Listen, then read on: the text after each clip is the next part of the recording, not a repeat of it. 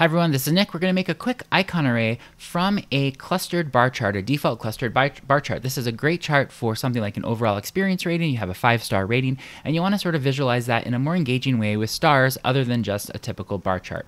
So we're going to go ahead. This is actually the chart right here that we're going to make, the icon array. This is the chart that we're going to make it uh, from a regular clustered bar chart with a little helper, helper data series behind the scenes. Let's go over to this slide right here.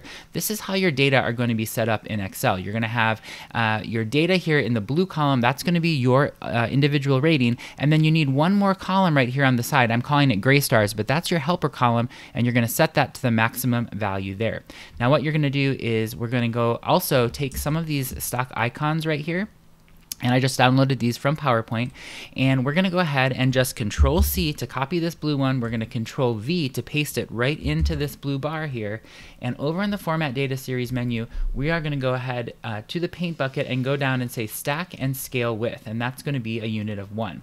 Perfect. So now we have four stars 4.3 uh, and then just a little bit of another star for our 0.3.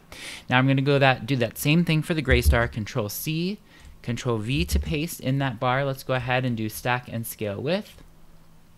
Perfect.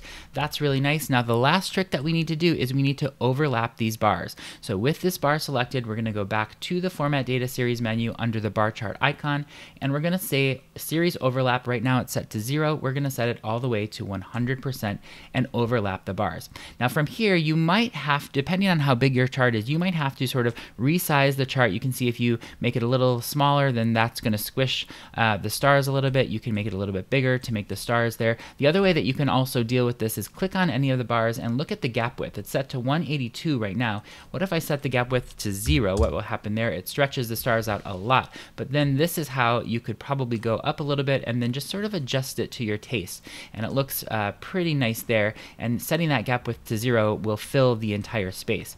Uh, you can see also we just kind of had those outlines there. We don't really want those outlines on the bar, so I'm going to go back to the uh, format plot area, say no line for the border. Uh, we're going to make sure that all the bars are set to no borderline as well. And there we go. Now, if we didn't want that overall experience rating label right there, we could just go ahead and delete it. And now you have a five star rating. Perfect. A nice little icon array directly from a clustered bar chart, a default chart inside of PowerPoint. If you like this video, give it a thumbs up and make sure to hit the subscribe button and the bell next to it. You'll get notified every time I post a new video in data design, usually PowerPoint, Excel, or Word. Had a great time making this for you. Can't wait to see you next next time.